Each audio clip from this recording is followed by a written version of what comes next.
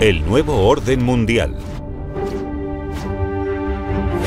Los tiempos que vienen serán radicalmente diferentes a lo que hemos experimentado hasta ahora en nuestra vida.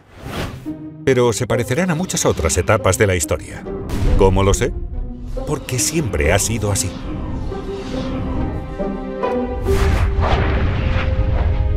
A lo largo de mis aproximadamente 50 años de inversión macroeconómica global, he aprendido por las malas que los acontecimientos más importantes que me sorprendieron lo hicieron porque nunca habían sucedido antes en mi vida. Estas dolorosas sorpresas me llevaron a estudiar los últimos 500 años de historia de situaciones similares, donde vi que, efectivamente, habían sucedido antes muchas veces, con los altibajos de los imperios neerlandés, británico y estadounidense. Y cada vez que ocurrieron, eran signo de un nuevo orden mundial. Estudiar esto me enseñó valiosas lecciones que te pasaré aquí en forma destilada. Hallarás la versión completa en mi libro Principios para enfrentarse al nuevo orden mundial.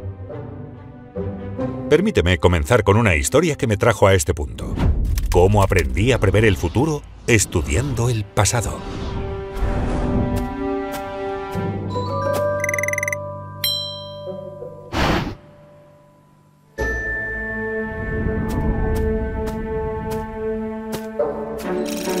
En 1971, cuando era un joven empleado en el piso de la Bolsa de Valores de Nueva York, a Estados Unidos se le terminó el dinero y no cumplió con sus deudas.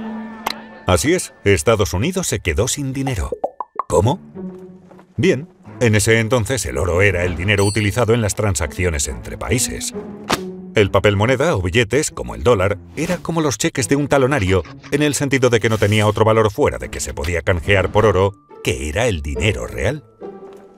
En aquel momento, Estados Unidos gastaba mucho más dinero del que ganaba, girando mucho más de esos cheques de papel moneda que el oro que tenía en el banco para canjear por ellos. Como la gente llevaba estos cheques al banco para obtener dinero de oro, la cantidad de oro en los Estados Unidos había disminuido. Pronto se hizo evidente que Estados Unidos no podía cumplir sus promesas por todo el papel moneda existente, por lo cual, quienes tenían dólares se apresuraban a canjearlos antes de que se acabara el oro.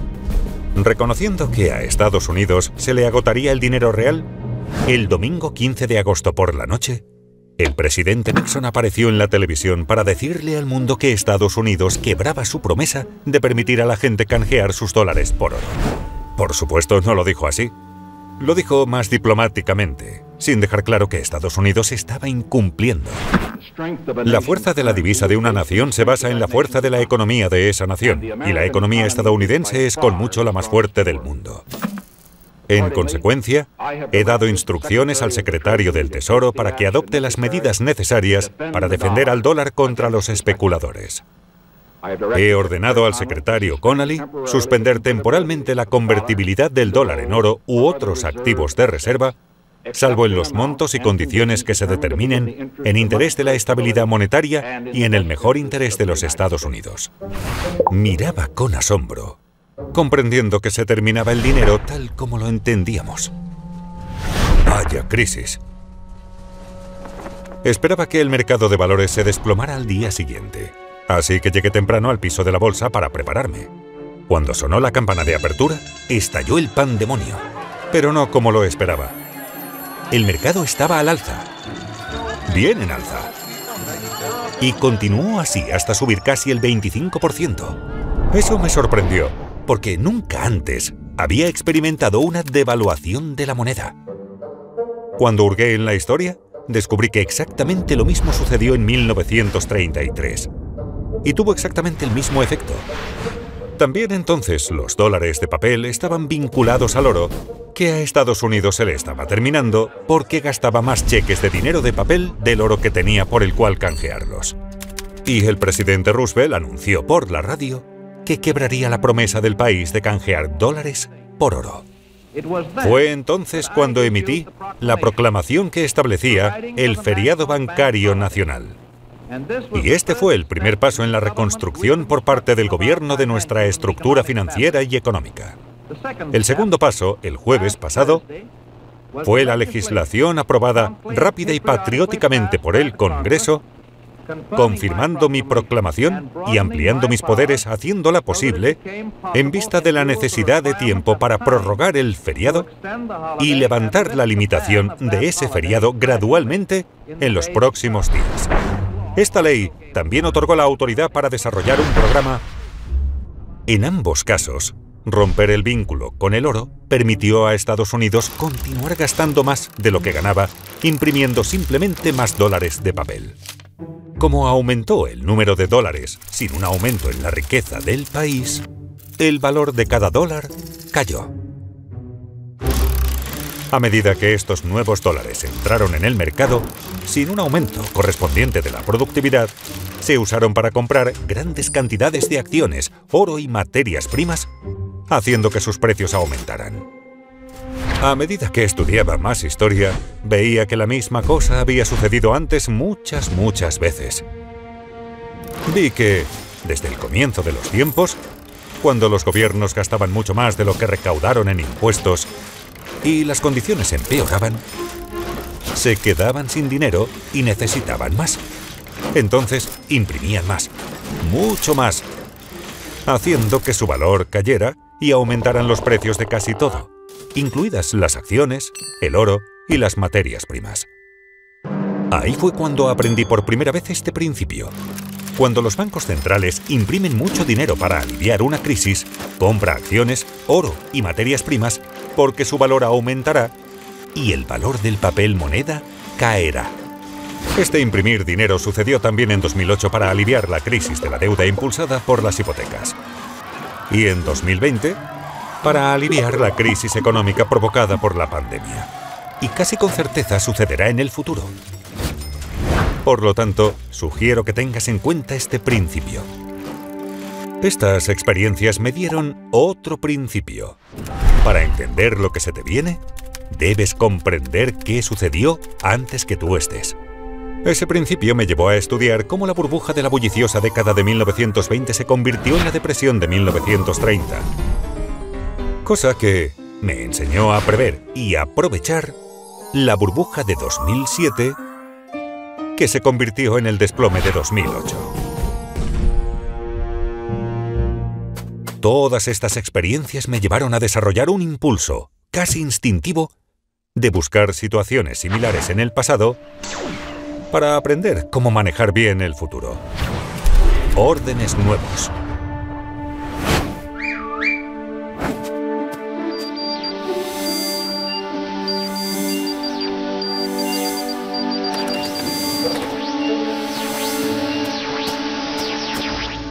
En los últimos años, tres grandes cosas que no habían sucedido durante mi vida me llevaron a hacer este estudio.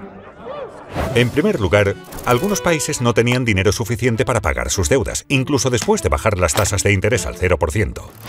De modo que sus bancos centrales comenzaron a imprimir mucho dinero para hacerlo. En segundo lugar, surgieron grandes conflictos internos debido a las crecientes brechas de riqueza y de valores. Esto se manifiesta en el populismo político y la polarización entre la izquierda, que quiere redistribuir la riqueza, y la derecha, que quiere defender a quienes poseen la riqueza. Y en tercer lugar, el creciente conflicto externo entre una gran potencia en ascenso y la gran potencia líder, como sucede actualmente entre China y Estados Unidos. Por lo tanto, miré hacia atrás. Vi que todo esto ya había sucedido antes, muchas veces y casi siempre había llevado a cambiar los órdenes nacionales y mundiales. La última vez que ocurrió esta secuencia fue de 1930 a 1945. Quizás te preguntes qué es exactamente un orden. Es un sistema de gobierno para que las personas traten entre sí. Existen órdenes internos para gobernar dentro de los países, normalmente establecidos en las constituciones y existe un orden mundial que rige entre países, normalmente establecido en tratados. Los órdenes internos cambian en momentos diferentes a las órdenes mundiales. Y tanto dentro de los países o entre ellos, estos órdenes suelen cambiar después de guerras. Guerras civiles dentro de países, Guerras internacionales entre países. Suceden cuando nuevas fuerzas revolucionarias derrotan a órdenes viejos y débiles. Por ejemplo, el orden interno de los Estados Unidos fue establecido en la Constitución en 1789 después de la Revolución estadounidense y sigue funcionando hoy, aún después de la Guerra de Secesión en los Estados Unidos. Rusia se deshizo de su viejo orden y estableció uno nuevo con la Revolución Rusa de 1917, que terminó en 1991 con una revolución relativamente pacífica. China comenzó su orden interno actual en 1949, cuando el Partido Comunista Chino ganó la guerra civil. Ya habrás entendido. El orden mundial actual, comúnmente llamado el Orden Mundial de los Estados Unidos, se formó después de la victoria aliada en la Segunda Guerra Mundial, de la cual Estados Unidos emergió como la potencia mundial dominante. Se estableció en acuerdos y tratados sobre el funcionamiento de la gobernanza mundial y los sistemas monetarios.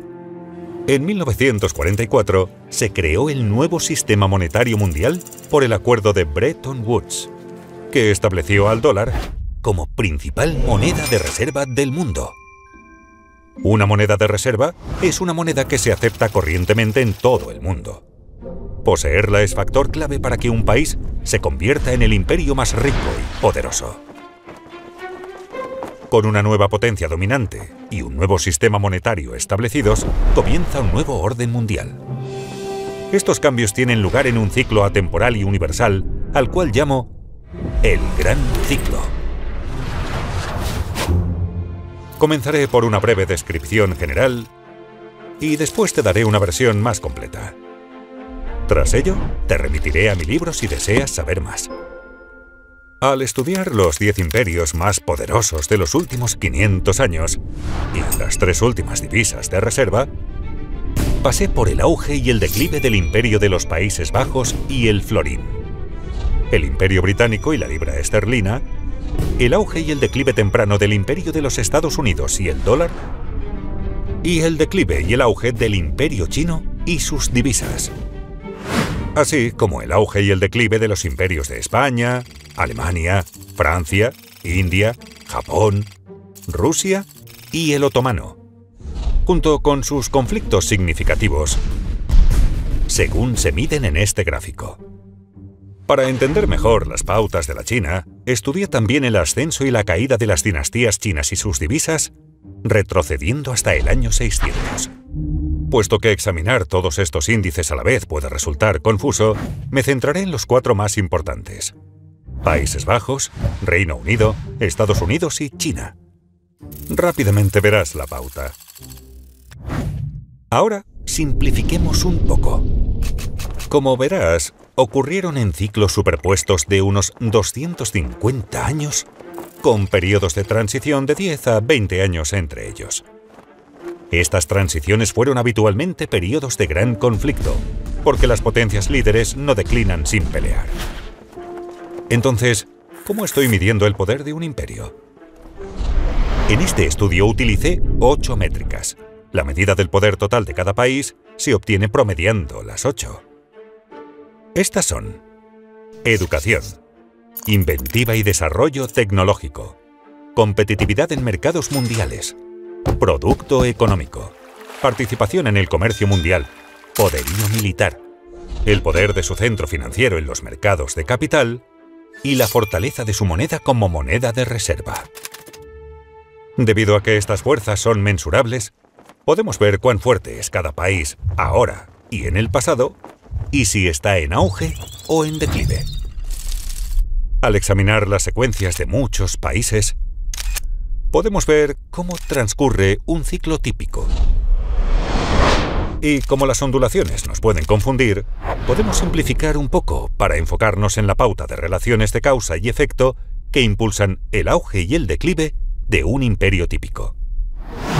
Como puedes ver, una mejor educación suele llevar a mayor innovación y desarrollo tecnológico y con cierto retraso al posicionamiento de la divisa como moneda de reserva.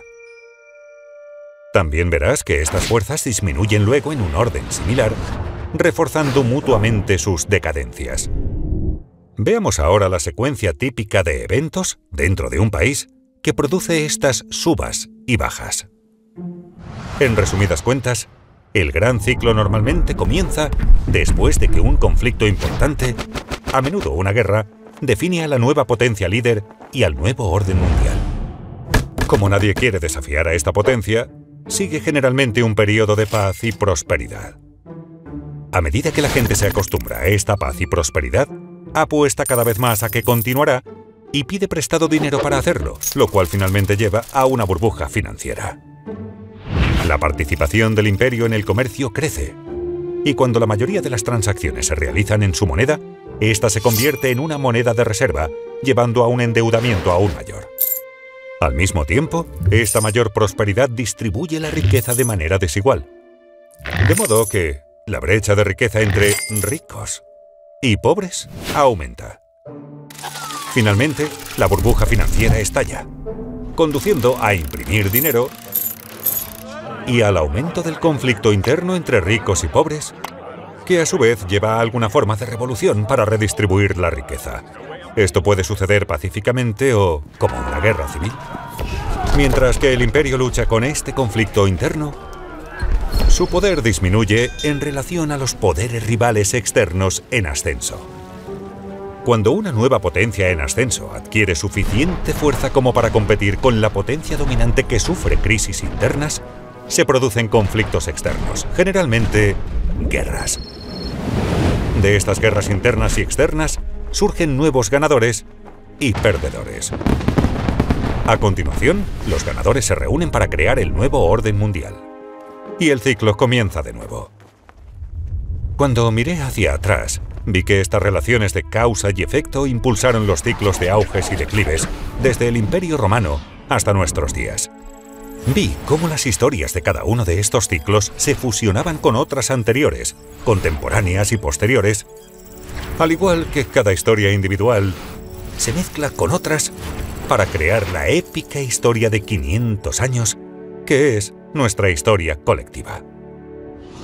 Y como los ciclos de la vida humana, no hay dos exactamente iguales, pero la mayoría son similares están impulsados por relaciones lógicas de causa y efecto que pasan por etapas, desde el nacimiento a la potencia y la madurez, hasta la debilidad y el inevitable declive. Sin embargo, eso es como decir que el ciclo de vida de una persona dura 80 años en promedio, sin reconocer que muchos son mucho más cortos y muchos son más largos. Si bien la edad puede ser un buen indicador de la longevidad futura, mejor manera es mirar los indicadores de salud. Uno también puede hacer eso con los imperios y sus signos vitales. Descubrí que observando los indicadores de cambio de poderío, pude ver en qué etapa estaba un país, cosa que me ayudó a prever lo que probablemente vendría a continuación. Ahora te llevaré por el gran ciclo con más detalle. Dame 20 minutos y te daré los últimos 500 años de historia. Y te mostraré las pautas similares en los imperios neerlandés, británico, estadounidense y chino. 500 años de grandes ciclos.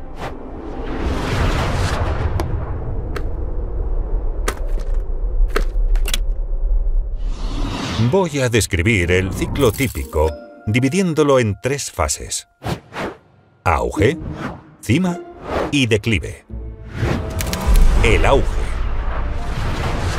Los nuevos órdenes emergentes, tanto internos como externos, suelen ser iniciados por poderosos líderes revolucionarios que hacen cuatro cosas. En primer lugar, alcanzan el poder obteniendo más apoyo que la oposición.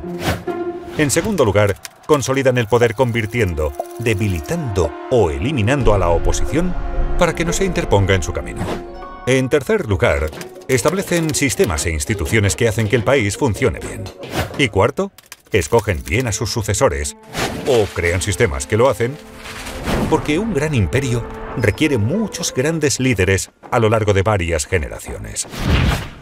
En esta etapa, poco después de ganar la lucha, hay generalmente un periodo de paz y prosperidad creciente porque el liderazgo es claramente dominante y tiene amplio apoyo, por lo cual nadie quiere combatirlo. Durante esta fase, los líderes del país deben diseñar un sistema excelente para aumentar la riqueza y el poder del país. En primer lugar, para ser grandes deben tener una educación fuerte, que no es solo enseñar conocimientos y destrezas, sino que también fortaleza de carácter, civismo y ética de trabajo. Estos se enseñan usualmente en la familia, las escuelas y las instituciones religiosas. Así se proporciona un respeto saludable por las reglas y las leyes, el orden dentro de la sociedad, la corrupción baja y los capacita para unirse para un propósito común y trabajar bien juntos. A medida que lo hacen, cada vez cambian más de producir productos básicos a innovación e invención de nuevas tecnologías. Por ejemplo, los neerlandeses avanzaron hasta derrotar al imperio de los Austrias, Habsburgo, y se tornaron magníficamente educados. Se hicieron tan inventivos que desarrollaron una cuarta parte de todas las invenciones más importantes del mundo. Las más importantes de ellas fueron los barcos, capaces de viajar por todo el mundo para recoger grandes riquezas, y el capitalismo tal como lo conocemos hoy en día para financiar esos viajes. Ellos, como todos los imperios líderes, mejoraron su pensamiento al abrirse al mejor pensamiento del mundo. Como resultado, el pueblo y el país se vuelven más productivos y más competitivos en los mercados mundiales, cosa que se manifiesta en su producción económica creciente y en el aumento de su participación en el comercio mundial. Puedes ver esto sucediendo ahora, ya que Estados Unidos y China son aproximadamente comparables tanto en sus productos económicos como en su participación en el comercio mundial. A medida que los países comercian más globalmente, deben proteger sus rutas comerciales y sus intereses en el extranjero contra ataques, por lo cual desarrollan un gran poderío militar. Si se ejecuta correctamente, este ciclo virtuoso conduce a un fuerte crecimiento de los ingresos, que puede utilizarse para financiar inversiones en educación, infraestructura e investigación y desarrollo. También deben desarrollar sistemas para incentivar y empoderar a quienes tienen la capacidad de generar o de tomar riqueza. En todos estos casos, los imperios más exitosos utilizaron un enfoque capitalista para desarrollar emprendedores productivos. Aún China, dirigida por el Partido Comunista Chino, utilizó una forma de este enfoque capitalista.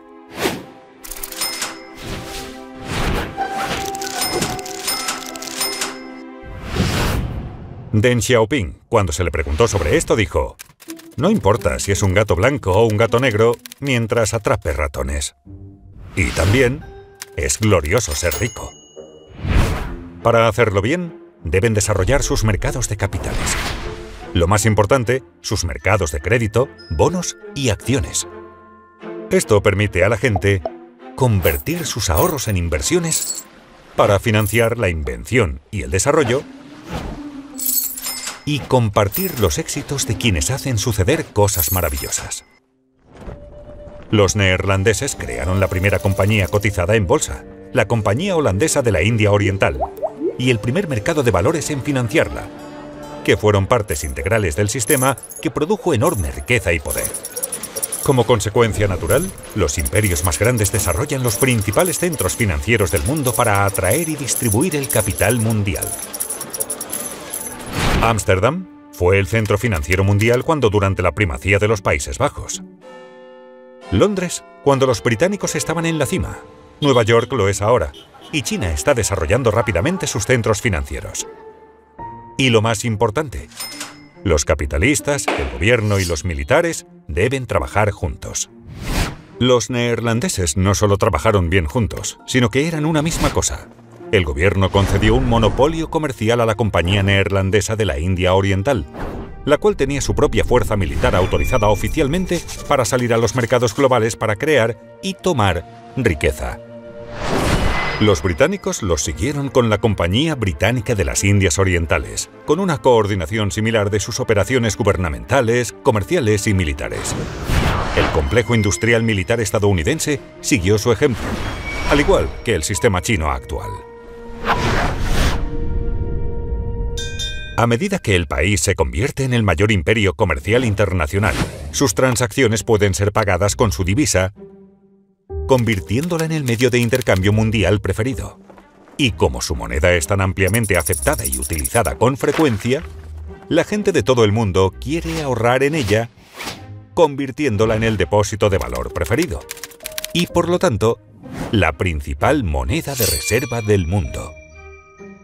El florín fue la principal moneda de reserva del mundo cuando los neerlandeses lideraban el comercio mundial. La libra lo fue durante el liderazgo británico y el dólar lo es desde que comenzó el liderazgo de Estados Unidos. Naturalmente, la divisa china se está utilizando cada vez más como moneda de reserva. Tener una moneda de reserva permite al imperio tomar prestado más que otros países. Esa ventaja es enorme. Piénsalo. La gente de todo el mundo está ansiosa por ahorrar y, por lo tanto, prestar su divisa de vuelta al imperio. Los países sin una moneda de reserva no tienen eso. Y cuando al imperio se le termina su propio dinero, ¿recuerdas a los Estados Unidos en 1971? Siempre puede imprimir más. El privilegio exorbitante que otorga la moneda de reserva del imperio lleva a aumentar el endeudamiento y al inicio de una burbuja financiera. Esta serie de relaciones de causa y efecto que llevan a tener poderíos financieros, políticos y militares que se apoyan mutuamente, reforzadas por el poder de endeudamiento de una moneda de reserva, vienen juntas desde que se registra la historia. Todo imperio que se convirtió en el más poderoso del mundo siguió este camino a la cima.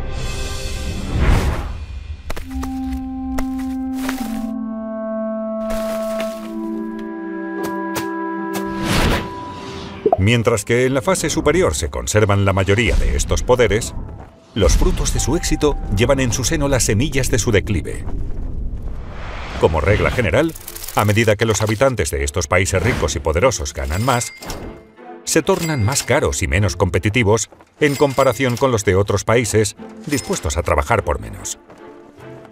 Al mismo tiempo, la gente de otros países copia naturalmente los métodos y tecnologías de la potencia líder, reduciendo así aún más la competitividad de la potencia líder. Por ejemplo, los astilleros británicos tenían trabajadores menos caros que los neerlandeses. Así, contrataron a diseñadores neerlandeses para diseñar mejores barcos construidos por trabajadores británicos menos costosos, haciéndolos más competitivos, lo que llevó a los británicos a ascender y a los neerlandeses a declinar. Además, a medida que la gente enriquece, tiende a no trabajar tan duro. Disfruta de más tiempo libre, buscan las cosas mejores y menos productivas de la vida, y al llegar al extremo se tornan decadentes. Los valores cambian de generación en generación durante el ascenso a la cima, desde quienes tuvieron que luchar para lograr riqueza y poder, hasta aquellos que la heredaron. Están menos curtidos en la lucha, plenos de lujos y acostumbrados a la vida fácil, lo cual los hace más vulnerables a los desafíos. La edad dorada del imperio neerlandés.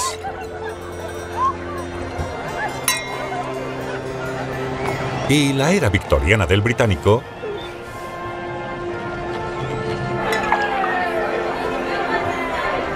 fueron períodos de gran prosperidad como este. A medida que las personas se acostumbran a que les vaya bien, apuestan cada vez más a que los buenos tiempos continúen y se endeudan para hacer esa apuesta, lo que genera burbujas financieras. Naturalmente, las ganancias financieras se obtienen de manera desigual y las brechas de riqueza se ensanchan. Las brechas de riqueza se refuerzan a sí mismas, porque los ricos usan sus mayores recursos para expandir sus poderes. Por ejemplo, otorgan mayores privilegios a sus hijos, como por ejemplo el acceso a una mejor educación, e influyen en el sistema político en su beneficio. Esto genera las brechas en los valores, las políticas y en las oportunidades para el desarrollo entre los ricos, los que tienen, y los pobres, los que no tienen. Los menos acomodados sienten que el sistema es injusto, por lo que aumenta el resentimiento. Pero mientras el nivel de vida de la mayoría de las personas sigue aumentando, estas brechas y resentimientos no se traducen en conflictos. Tener la moneda de reserva del mundo conduce inevitablemente a endeudarse excesivamente y contribuye a que el país acumule grandes deudas con prestamistas extranjeros. Si bien esto aumenta el poder adquisitivo a corto plazo, a largo plazo debilita la salud financiera del país y la moneda. En otras palabras, cuando el endeudamiento y el gasto son fuertes, el imperio parece muy fuerte.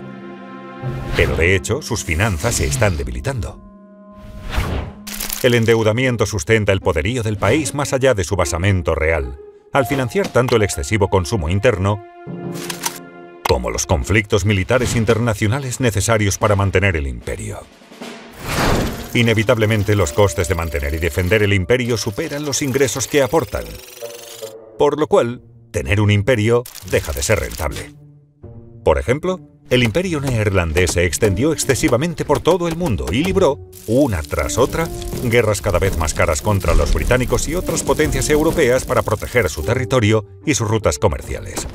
De manera similar, el imperio británico se tornó un aparato masivo y burocrático y perdió sus ventajas competitivas a medida que las potencias rivales, en particular Alemania, levantaron vuelo, conduciendo a una carrera armamentista cada vez más cara y a una guerra mundial. Estados Unidos ha gastado unos 8 billones de dólares en guerras extranjeras y sus consecuencias desde el 11S. Y billones más en otras operaciones militares y en mantener bases militares en 70 países. Y todavía no gasta lo suficiente para mantener su competencia militar con China en la zona que la circunda. En este ciclo, los países más ricos eventualmente se endeudan cada vez más al tomar prestado de países más pobres que ahorran más, una de las primeras señales de una transferencia de riqueza y poderío. Esto comenzó en Estados Unidos en la década de 1980, cuando tenía un ingreso per cápita 40 veces mayor que el de China, y comenzó a pedir prestado a los chinos que querían ahorrar en dólares, porque el dólar era la moneda de reserva del mundo. Análogamente, el Reino Unido tomó mucho dinero prestado de sus colonias, mucho más pobres, y los neerlandeses hicieron lo mismo en su cima. Si al imperio se le comienzan a agotar los nuevos prestamistas, aquellos que tienen su moneda comienzan a tratar de vender y salir en lugar de comprar, ahorrar, prestar y entrar.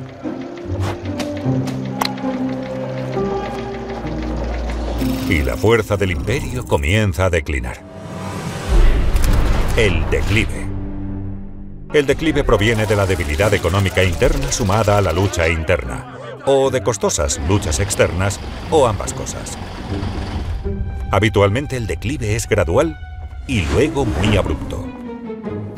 Cuando las deudas llegan a ser muy grandes y hay una recesión económica, y el imperio ya no puede pedir prestado el dinero necesario para pagar sus deudas, estalla la burbuja financiera. Esto crea grandes dificultades internas y obliga al país a elegir entre incumplir con sus deudas o imprimir un montón de dinero nuevo. Siempre opta por imprimir un montón de dinero nuevo. Al principio gradualmente y finalmente en forma masiva. Eso hace perder valor a la moneda y aumenta la inflación. Para los neerlandeses esta fue la crisis financiera provocada por los excesos financieros y el financiamiento de la Cuarta Guerra Anglo-Neerlandesa.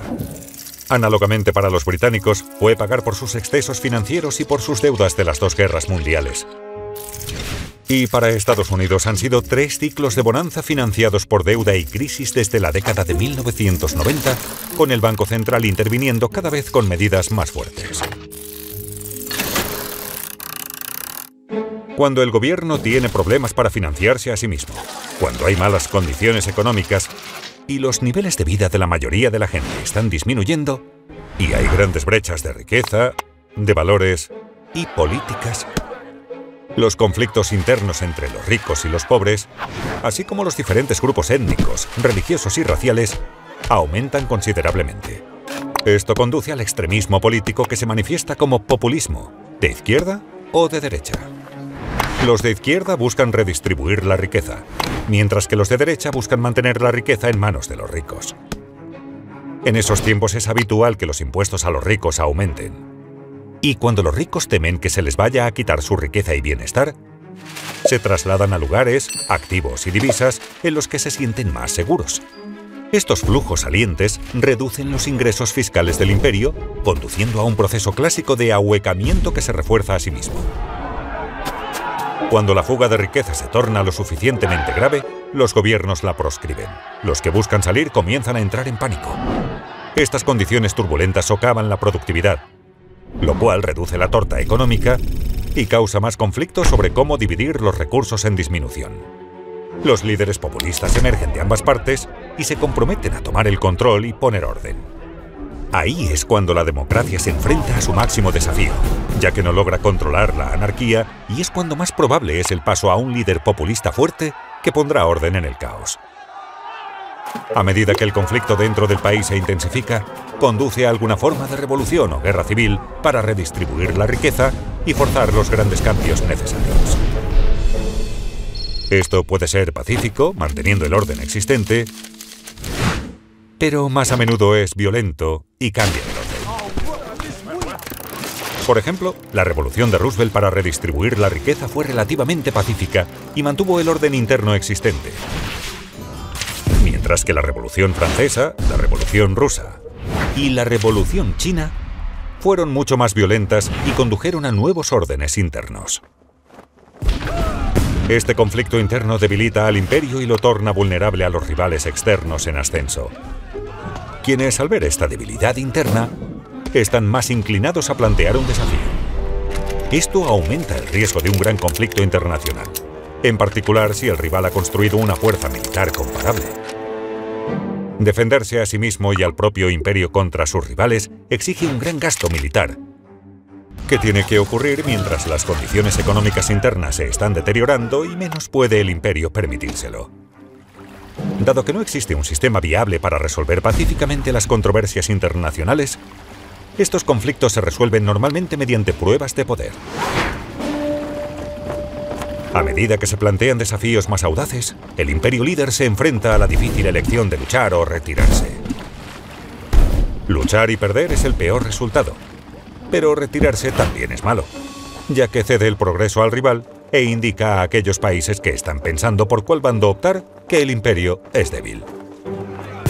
Las malas condiciones económicas traen más lucha por la riqueza y el poder, lo cual inevitablemente conduce a algún tipo de guerra. Las guerras son terriblemente costosas. Al mismo tiempo, producen los desplazamientos tectónicos que realinean los nuevos órdenes con las nuevas realidades de la riqueza y el poder en el mundo. Cuando quienes poseen la moneda de reserva y las obligaciones del imperio en declive pierden la fe y las venden, eso marca el final de su gran ciclo. De las aproximadamente 750 divisas que existieron desde 1700, ahora existen menos del 20%, y todas ellas han perdido valor. Para los neerlandeses esto sucedió después de su derrota en la Cuarta Guerra Anglo-Neerlandesa, cuando no pudieron pagar las deudas masivas que habían acumulado durante la misma. Esto llevó a que muchos corran al Banco de Ámsterdam y a una venta desesperada, forzando la impresión masiva de dinero que devaluó la moneda y al imperio hasta la irrelevancia.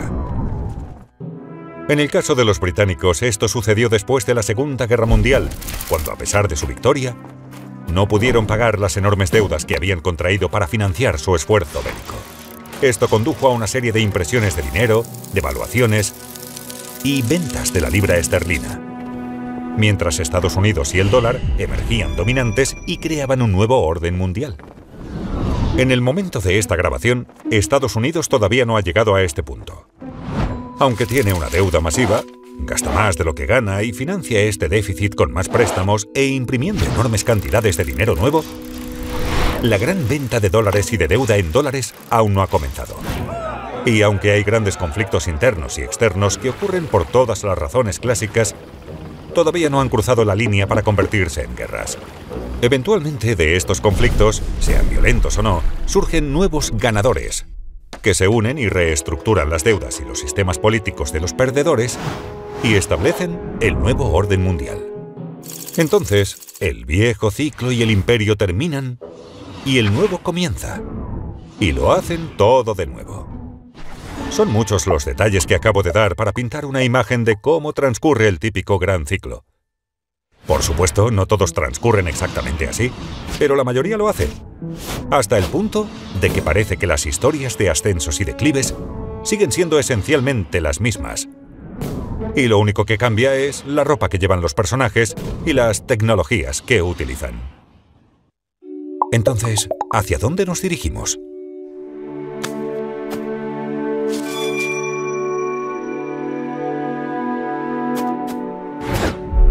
El futuro.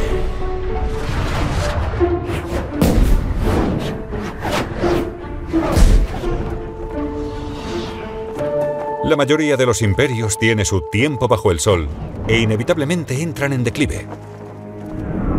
Revertir un declive es difícil porque requiere deshacer mucho de lo que ya se ha hecho. Pero es posible. Observando estos indicadores, es bastante fácil ver qué fase del gran ciclo transita un imperio, en qué estado se encuentra y si su condición está mejorando o empeorando. Lo que puede ayudar a estimar cuántos años le quedan. Aún así, estas estimaciones no son precisas, y el ciclo puede prolongarse si los responsables prestan atención a sus signos vitales y los mejoran. Por ejemplo, sabiendo que una persona tiene 60 años, su estado físico, si fuma o no, y algunos otros signos vitales básicos, se puede estimar su longevidad.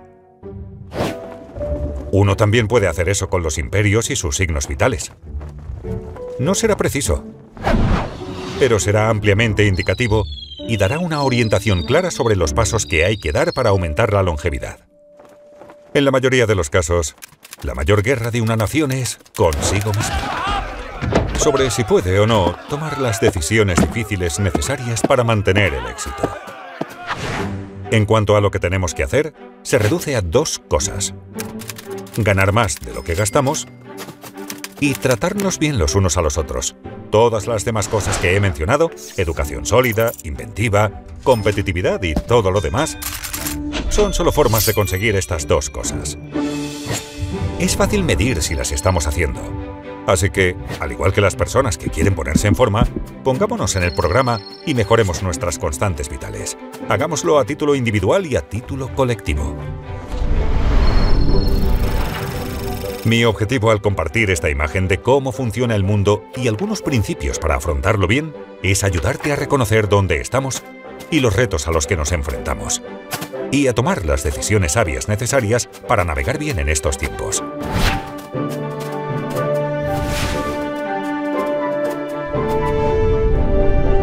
Como hay mucho más que discutir y se nos ha acabado el tiempo, pueden aprender más en mi libro Principios para enfrentarse al nuevo orden mundial y espero continuar esta conversación en economicprinciples.org y en las redes sociales.